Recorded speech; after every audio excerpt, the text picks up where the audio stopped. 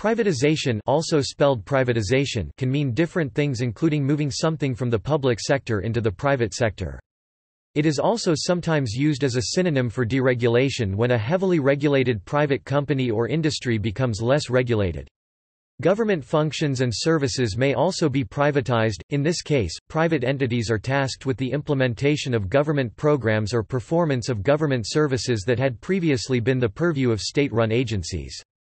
Some examples include revenue collection, law enforcement, and prison management. Another definition is the purchase of all outstanding shares of a publicly traded company by private investors, or the sale of a state owned enterprise or municipally owned corporation to private investors.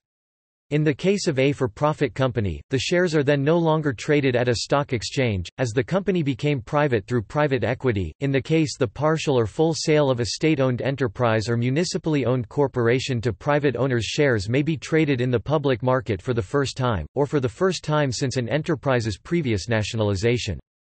The second such type of privatization is the demutualization of a mutual organization, cooperative, or public-private partnership in order to form a joint stock company.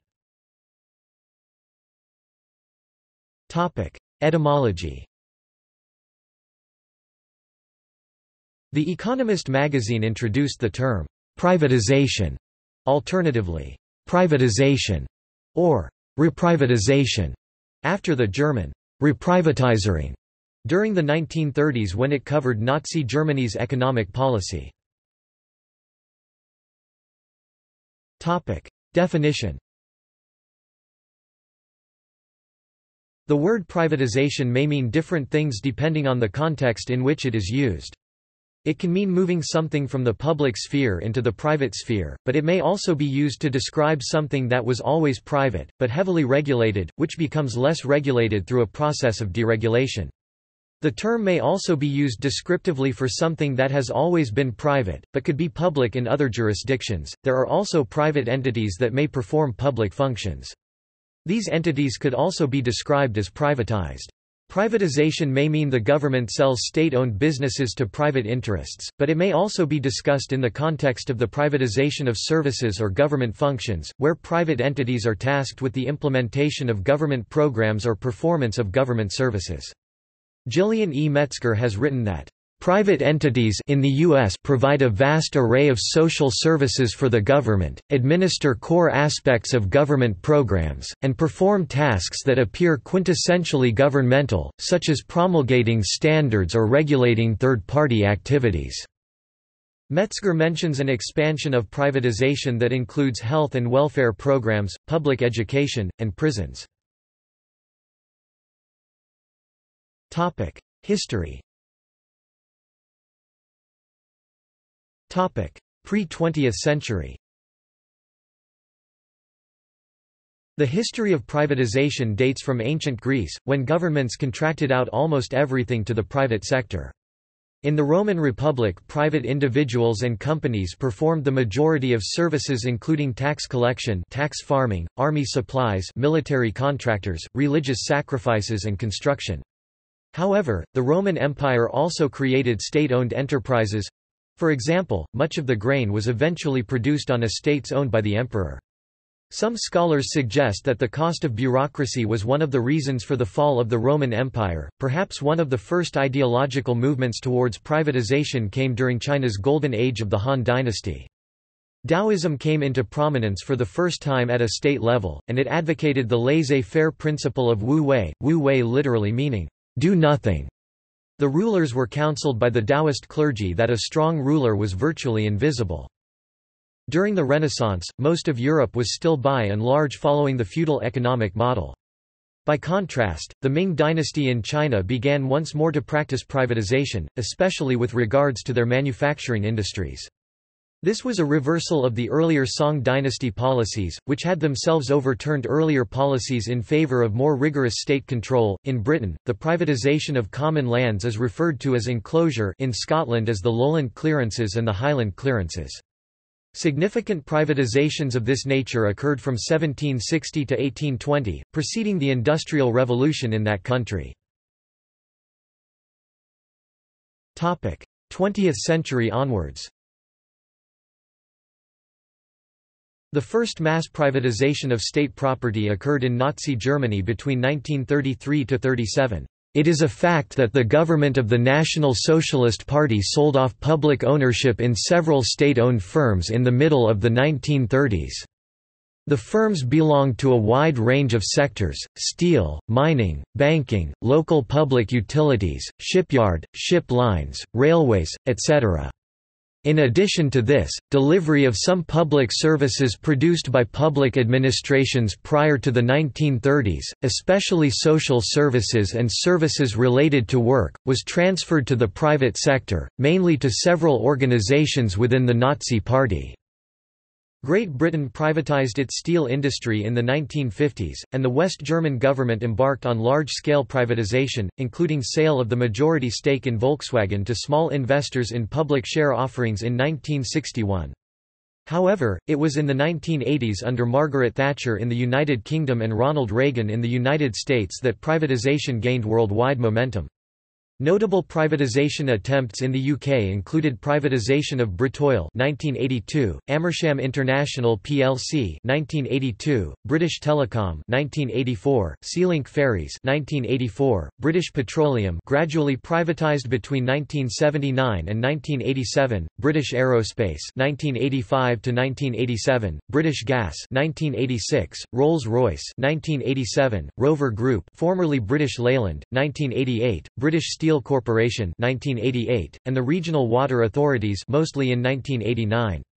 After 1979, council house tenants in the UK were given the right to buy their homes at a heavily discounted rate.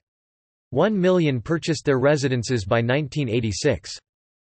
Such efforts culminated in 1993 when British Rail was privatised under Thatcher's successor, John Major. British Rail had been formed by prior nationalisation of private rail companies.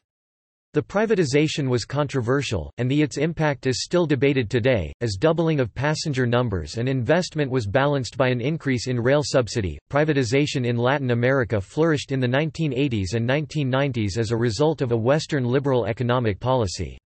Companies providing public services such as water management, transportation, and telecommunication were rapidly sold off to the private sector. In the 1990s, privatization revenue from 18 Latin American countries totaled 6% of gross domestic product.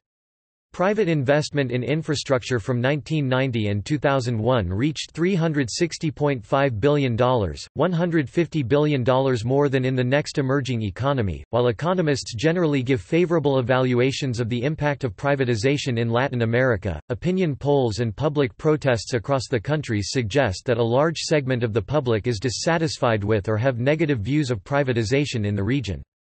In the 1990s, the governments in Eastern and Central Europe engaged in extensive privatization of state-owned enterprises in Eastern and Central Europe and Russia, with assistance from the World Bank, the U.S. Agency for International Development, the German Treuhand, and other governmental and non-governmental organizations.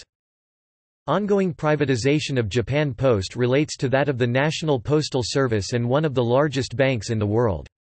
After years of debate, the privatization of Japan Post spearheaded by Junichiro Koizumi finally started in 2007. The privatization process is expected to last until 2017. Japan Post was one of the nation's largest employers, as one-third of Japanese state employees worked for it. It was also said to be the largest holder of personal savings in the world. Criticisms against Japan Post were that it served as a channel of corruption and was inefficient. In September 2003, Koizumi's cabinet proposed splitting Japan Post into four separate companies, a bank, an insurance company, a postal service company, and a fourth company to handle the post offices and retail storefronts of the other three. After the upper house rejected privatization, Koizumi scheduled nationwide elections for September 11, 2005. He declared the election to be a referendum on postal privatization. Koizumi subsequently won the election, gaining the necessary supermajority and a mandate for reform, and in October 2005, the bill was passed to privatize Japan Post in 2007. Nippon Telegraph and Telephone's privatization in 1987 involved the largest share offering in financial history at the time. Fifteen of the world's 20 largest public share offerings have been privatizations of telecoms. In 1988, the perestroika policy of Mikhail Gorbachev started allowing privatization of the centrally planned economy. Large privatization of the Soviet economy occurred over the next few years as the country dissolved. Other Eastern Bloc countries followed suit after the revolutions of 1989 introduced non-communist governments. The United Kingdom's largest public share offerings were privatisations of British Telecom and British Gas during the 1980s under the Conservative government of Margaret Thatcher, when many state-run firms were sold off to the private sector. The privatisation received very mixed views from the public and the Parliament. Even former Conservative Prime Minister Harold Macmillan was critical of the policy, likening it to selling the family silver. There were around 3 million shareholders in Britain when Thatcher took office in 1979, but the subsequent sale of state-run firms saw the number of shareholders double by 1985. By the time of her resignation in 1990, there were more than 10 million shareholders in Britain. The largest public shares offering in France involved France Télécom. Egypt undertook widespread privatization under Hosni Mubarak. He was later overthrown in the 2011 revolution. The public called for renationalization as the privatized firms were accused of practicing crony capitalism with the old regime. Topic: Medicare and Medicaid managed care. In the United States, under the Medicare managed care the government pays a managed care organization MCO a fixed amount called the capitated rate for all medical services received by a beneficiary in a given period. Enrollment in the programs has increased substantially since 1990. In 2002, 60% of Medicaid beneficiaries and 12% of Medicare beneficiaries were being treated by MCOs. Private sector involvement in Medicare and Medicaid is not limited to MCOs. Private doctors, hospitals, nursing homes provide medical care, reimbursement claims are processed by private intermediaries, and peer review organizations, utilization review committees, and accreditation organizations like JCAHO are staffed by private medical personnel. Topic: Welfare privatization. Homeless shelters and food banks are run by private organizations, who also provide treatment services, operate Head Start programs and work with child welfare agencies. Privatization of welfare system expanded in 1996, when the Aid to Families with Dependent Child program was replaced with the Temporary Aid to Needy Families program. Welfare services that are often privatized include workforce development, job training and job placement are often privatized. Topic: Public education. There is also some private sector involvement in the public education system including charter schools, educational management organizations and school voucher programs. EMOs are usually for profit and manage charter schools and sometimes traditional public schools as well. The United States Supreme Court upheld school voucher programs against an Establishment Clause challenge in Zelman v. Simmons Harris Private prisons In the U.S. in 2001, private prison facilities housed 12.3% of all federal prisoners and 5.8% of state prisoners. Contracts for these private prisons regulate prison conditions and operation, but the nature of running a prison requires a substantial exercise of discretion. Private prisons are more exposed to liability than state-run prisons. Foreign affairs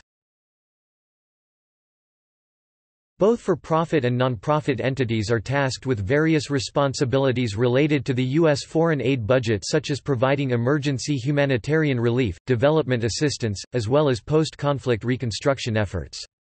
Similarly, private entities have started to perform tasks that have traditionally been regarded as falling within the government's diplomatic and military authority like participating in peace negotiations, military training, intelligence gathering and other security services or combat-related missions.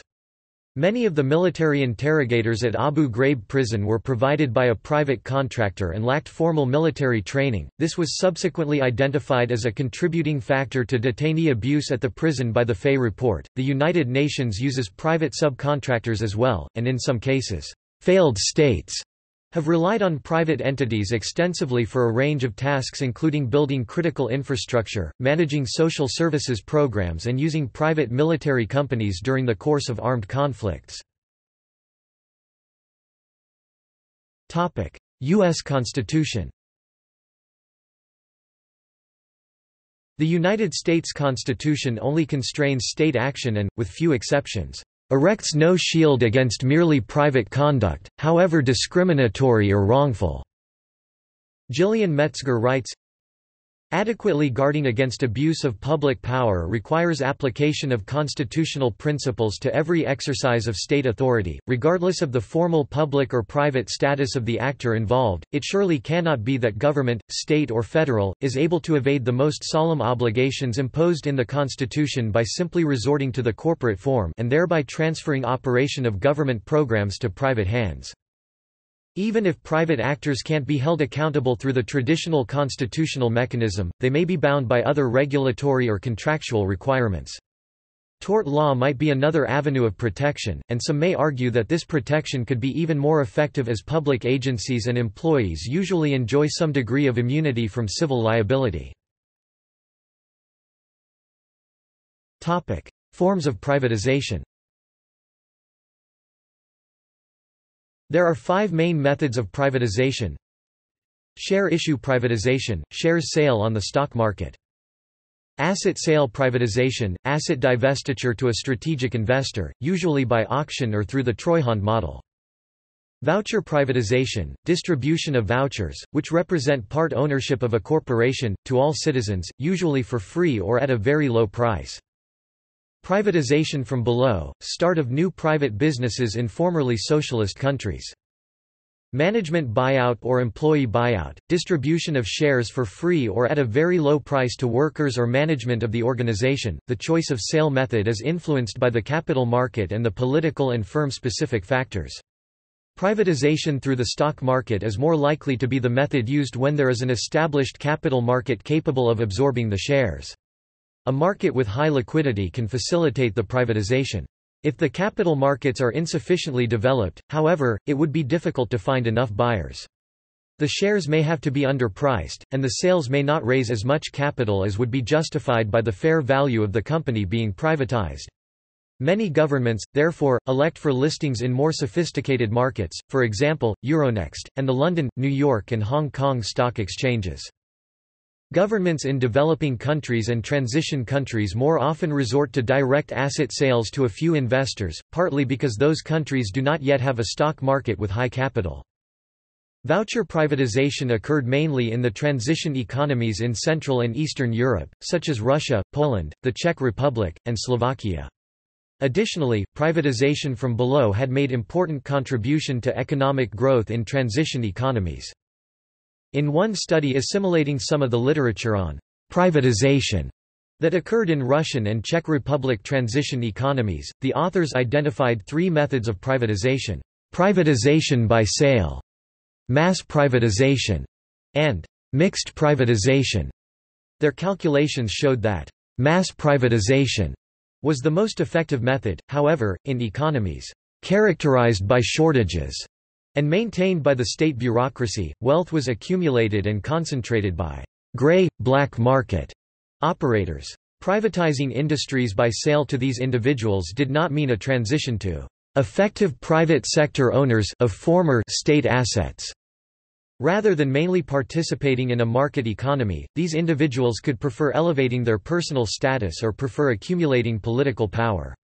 Instead, outside foreign investment led to the efficient conduct of former state assets in the private sector and market economy. Through privatization by direct asset sale or the stock market, bidders compete to offer higher prices, generating more revenue for the state. Voucher privatization, on the other hand, could represent a genuine transfer of assets to the general population, creating a sense of participation and inclusion. A market could be created if the government permits transfer of vouchers among voucher holders. Topic: Secured borrowing.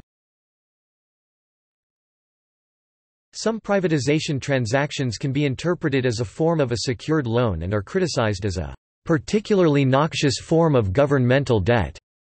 In this interpretation, the upfront payment from the privatization sale corresponds to the principal amount of the loan, while the proceeds from the underlying asset correspond to secured interest payments. The transaction can be considered substantively the same as a secured loan, though it is structured as a sale.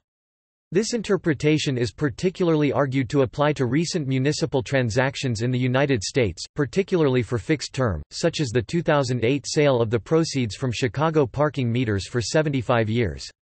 It is argued that this is motivated by politicians' desires to borrow money surreptitiously due to legal restrictions on and political resistance to alternative sources of revenue, viz., raising taxes or issuing debt. Results Literature reviews find that in competitive industries with well-informed consumers, privatization consistently improves efficiency. The more competitive the industry, the greater the improvement in output, profitability, and efficiency. Such efficiency gains mean a one-off increase in GDP, but through improved incentives to innovate and reduce costs also tend to raise the rate of economic growth. Although typically there are many costs associated with these efficiency gains, many economists argue that these can be dealt with by appropriate government support through redistribution and perhaps retraining. Yet, some empirical literature suggests that privatization could also have very modest effects on efficiency and quite regressive distributive impact. In the first attempt at a social welfare analysis of the British privatisation programme under the Conservative governments of Margaret Thatcher and John Major during the 1980s and 1990s, Massimo Florio points to the absence of any productivity shock resulting strictly from ownership change. Instead, the impact on the previously nationalised companies of the UK productivity leap under the Conservatives varied in different industries. In some cases, it occurred prior to privatization, and in other cases, it occurred upon privatization or several years afterward. A study by the European Commission found that the UK rail network, which was privatized from 1994 to 97, was most improved out of all the 27 EU nations from 1997 to 2012. The report examined a range of 14 different factors and the UK came top in four of the factors, second and third in another two and fourth in three, coming top overall. Privatizations in Russia and Latin America were accompanied by large-scale corruption during the sale of the state-owned companies. Those with political connections unfairly gained large wealth, which has discredited privatization in these regions. While media have widely reported the grand corruption that accompanied those sales, studies have argued that in addition to increased operating efficiency, daily petty corruption is, or would be, larger without privatization, and that corruption is more prevalent in non-privatized sectors. Furthermore, there is evidence to suggest that extra-legal and unofficial activities are more prevalent in countries that privatized less. A 2009 study published in the Lancet Medical Journal initially claimed to have found that as many as a million working men died as a result of economic shocks associated with mass privatization in the former Soviet Union and in Eastern Europe during the 1990s, although a further study revealed that there were errors in their method and correlations reported in the original article are simply not robust. Historian Walter Scheidel, a specialist in ancient history, posits that economic inequality and wealth concentration in the top percentile had been made possible by the transfer of state assets to private owners. In Latin America, there is a discrepancy between the economic efficiency of privatization and the political, social ramifications that occur. On the one hand, economic indicators, including firm profitability, productivity, and growth, project positive microeconomic results. On the other hand, however, these results have largely been met with a negative criticism and citizen coalitions. This neoliberal criticism highlights the ongoing conflict between varying visions of economic development. Karl Polanyi emphasizes the societal concerns of self-regulating markets through a concept known as a double movement. In essence, whenever societies move towards increasingly unrestrained, free market rule, a natural and inevitable societal correction emerges to undermine the contradictions of capitalism. This was the case in the 2000 Cochabamba protests. Privatization in Latin America has invariably experienced increasing push-back from the public. Some suggest that implementing a less efficient but more politically mindful approach could be more sustainable. In India, a survey by the National Commission for Protection of Child Rights (NCPCR) Utilization of free medical services by children belonging to the economically weaker section (EWS) in private hospitals in New Delhi 2011-12, a rapid appraisal indicates underutilization of the free beds available for EWS category in private hospitals in Delhi, though they were allotted land at subsidized rates.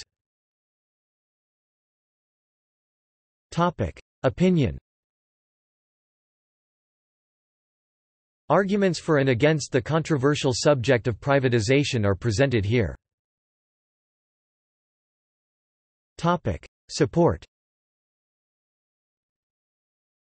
Studies show that private market factors can more efficiently deliver many goods or service than governments due to free market competition. Over time this tends to lead to lower prices, improved quality, more choices, less corruption, less red tape, and or quicker delivery. Many proponents do not argue that everything should be privatized.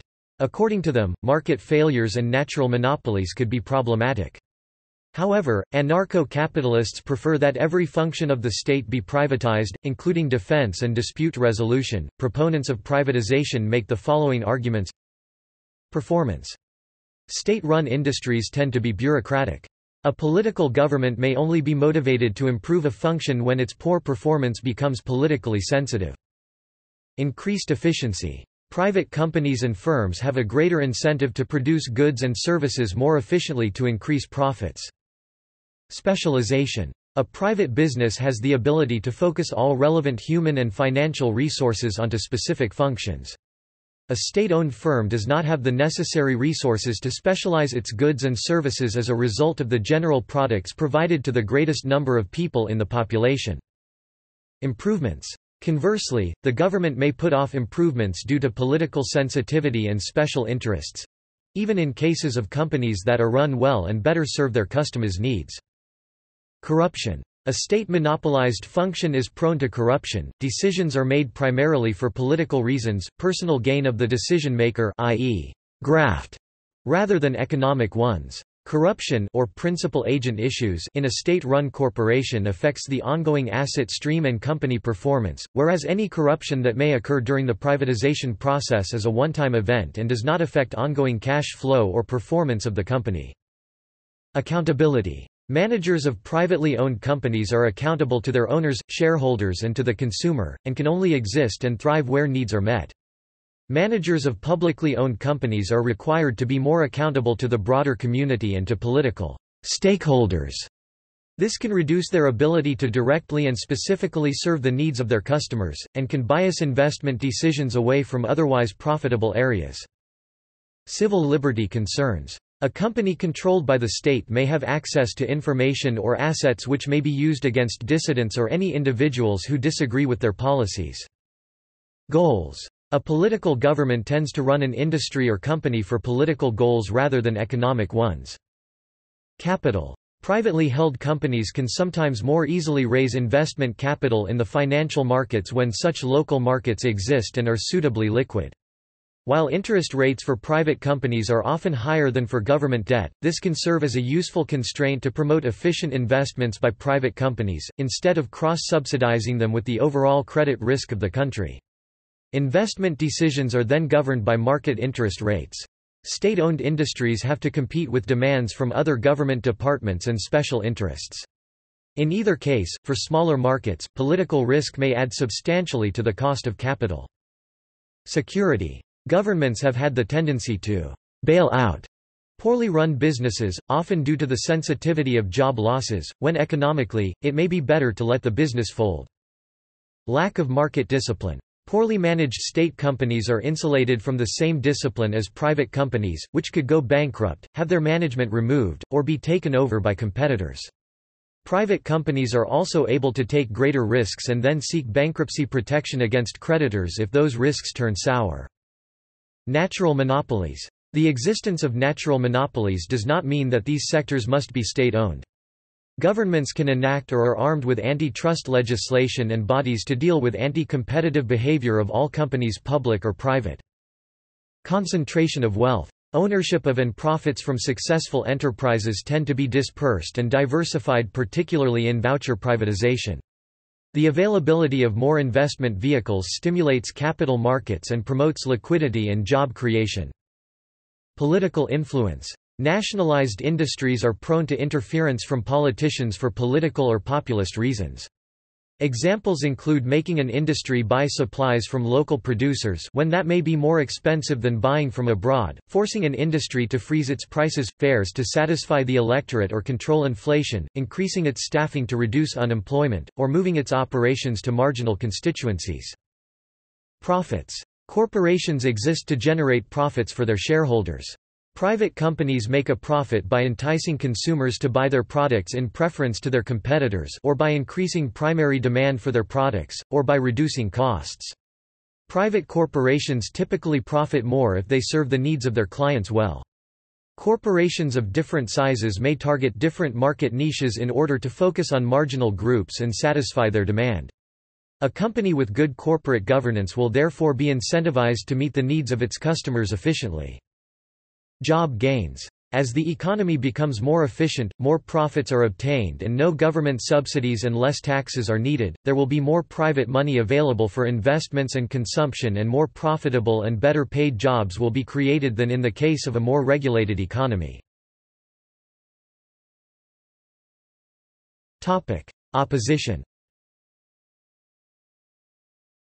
Opponents of certain privatizations believe that certain public goods and services should remain primarily in the hands of government in order to ensure that everyone in society has access to them such as law enforcement, basic health care, and basic education. There is a positive externality when the government provides society at large with public goods and services such as defense and disease control. Some national constitutions in effect define their government's core businesses as being the provision of such things as justice, tranquility, defense, and general welfare.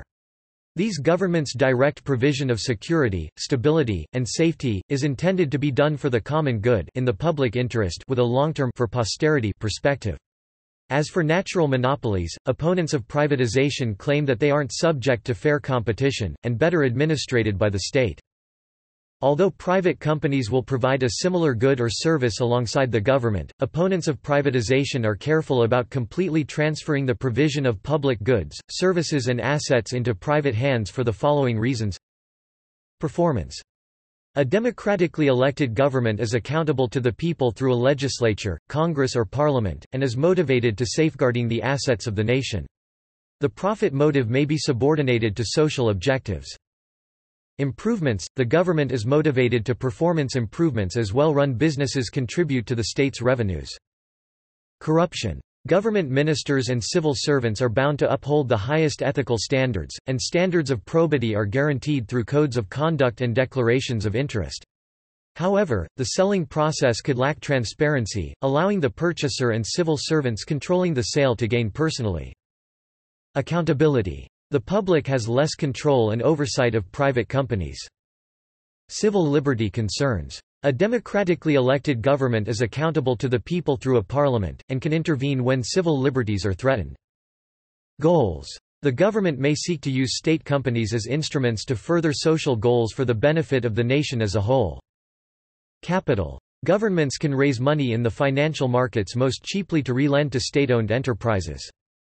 Cuts in essential services. If a government-owned company providing an essential service such as the water supply to all citizens is privatized, its new owners could lead to the abandoning of the social obligation to those who are less able to pay, or to regions where this service is unprofitable. Natural monopolies. Privatization will not result in true competition if a natural monopoly exists. Concentration of wealth. Profits from successful enterprises end up in private, often foreign, hands instead of being available for the common good. Political influence. Governments may more easily exert pressure on state-owned firms to help implementing government policy. Profit. Private companies do not have any goal other than to maximize profits. A private company will serve the needs of those who are most willing and able to pay, as opposed to the needs of the majority, and are thus anti-democratic. The more necessary a good is, the lower the price elasticity of demand, as people will attempt to buy it no matter the price. In the case of a price elasticity of demand of zero perfectly inelastic good, the demand part of supply and demand theories does not work. Privatization and poverty. It is acknowledged by many studies that there are winners and losers with privatization. The number of losers which may add up to the size and severity of poverty can be unexpectedly large if the method and process of privatization and how it is implemented are seriously flawed e.g. lack of transparency leading to state-owned assets being appropriated at minuscule amounts by those with political connections, absence of regulatory institutions leading to transfer of monopoly rents from public to private sector, improper design and inadequate control of the privatization process leading to asset stripping. Job loss Due to the additional financial burden placed on privatized companies to succeed without any government help, unlike the public companies, jobs could be lost to keep more money in the company. Reduced wages and benefits. A 2014 report by In the Public Interest, a resource center on privatization, argues that Outsourcing public services sets off a downward spiral in which reduced worker wages and benefits can hurt the local economy and overall stability of middle and working class communities. Inferior quality products. Private, for-profit companies might cut corners on providing quality goods and services in order to maximize profit. Economic theory In economic theory, privatization has been studied in the field of contract theory. When contracts are complete, institutions such as private or public property are difficult to explain, since every desired incentive structure can be achieved with sufficiently complex contractual arrangements, regardless of the institutional structure all that matters is who are the decision makers and what is their available information. In contrast, when contracts are incomplete, institutions matter. A leading application of the incomplete contract paradigm in the context of privatization is the model by Hart, Shleifer, and Vishny 1997. In their model, a manager can make investments to increase quality but they may also increase costs and investments to decrease costs but they may also reduce quality. It turns out that it depends on the particular situation whether private ownership or public ownership is desirable.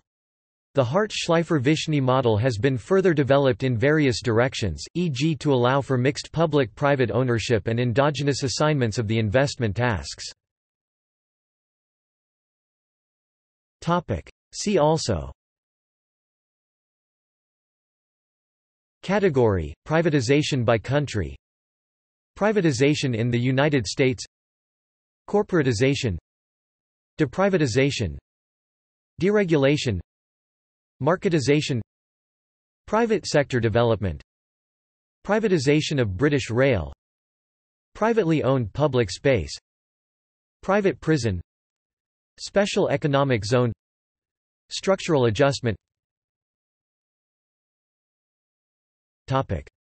Notes Topic. References Alexander, Jason 2009. Contracting Through the Lens of Classical Pragmatism, An Exploration of Local Government Contracting. Applied Research Project. Texas State University. Retrieved 31 October 2018. Dovalina, Jessica 2006. Assessing the Ethical Issues Found in the Contracting Out Process. Applied Research Project. Texas State University. Retrieved 31 October 2018. Segerfeldt, Frederick 2006. Water for Sale, How Business and the Market Can Resolve the World's Water Crisis PDF. Stockholm Network. Retrieved 31 October 2018. Black, Bernard, et al., 2000. Russian Privatization and Corporate Governance, What Went Wrong? Stanford Law Review. 52-1731, CS1 maint, explicit use of et al., link Fagali, Khalil 2013. La privatisation au Liban, allocation des ressources et efficacité de la gestion. Paris, L'Harmattan. ISBN 978-2-343-00839-4. Hoppe, Eva I., Schmitz, Patrick W. 2010. Public versus Private Ownership, Quantity Contracts and the Allocation of Investment Tasks. Journal of Public Economics. 94, 3–4, 258–268 doi 10.1016 j.jpubecco.2009.11.009 Kemp, Roger L. 2007. Privatization: The Provision of Public Services by the Private Sector. Jefferson City, North Carolina, USA and London, England, UK, McFarland & Co., Inc., publishers. ISBN 978-0-7864-3250-9, unindexed David T. Beito, Peter Gordon, and Alexander Tabarrok editors, foreword by Paul Johnson 2002. The Voluntary City, Choice, Community, and Civil Society. Ann Arbor, University of Michigan Press, The Independent Institute.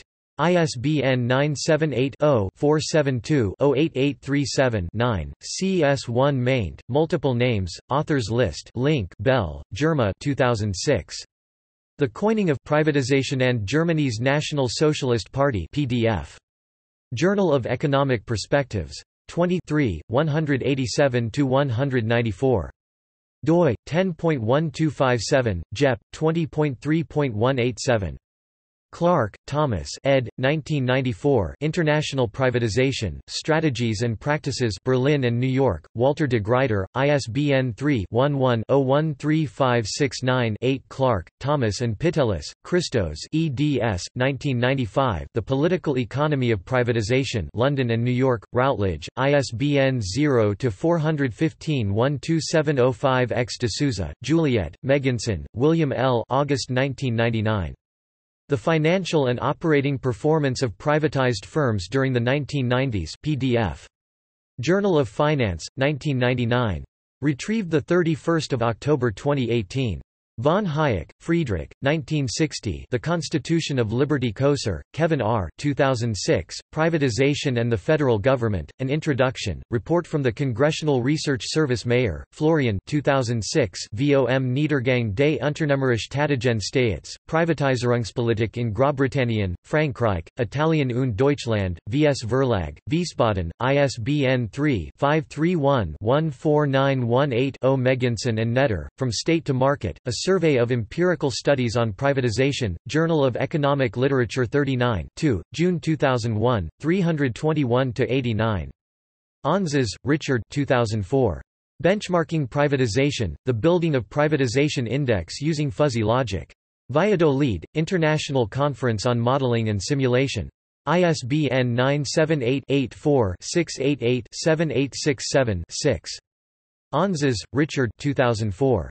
The Privatization Leader's Guide. e-privatization.com publication. ISBN 978-84-607-9613-8. Nico Perrone 2002, Economia Pubblica Rimosa, Milan, Giuffre ISBN 88-14-10088-8 Smith, Adam 1776 The Wealth of Nations Jeb Sprague, 2007. Haiti, Workers Protest Privatization Layoffs. Inter Press Service. Stiglitz, Joseph Globalization and its Discontents von Weizsäcker, Ernst, Oran Young, and Matthias Finger editors, Limits to Privatization. Earthscan, London 2005 ISBN 1-84407-177-4 Wolin, Sheldon 2008. Democracy Incorporated, Managed Democracy and the Spectre of Inverted Totalitarianism. Princeton University Press, ISBN 978-0-691-13566-3 Trad, especially, Democracia S.A., Buenos Aires, Madrid, Katz Editors S.A., 2008, ISBN 978-84-96859-46-3 Zullo, Roland, 2009. Does fiscal stress induce privatization? Correlates of Private and Intermunicipal Contracting, 1992–2002. Governance 22.3 July 459 to 481 Topic External links. Privatizations rise from the Dean Peter Krogh Foreign Affairs Digital Archives. Reports of the Public Services International Research Unit at the University of Greenwich Research Database with many articles on the effects of privatization Parker, David 1991. Privatization 10 Years on, A Critical Analysis of Its Rationale and Results. Cranfield University, School of Management.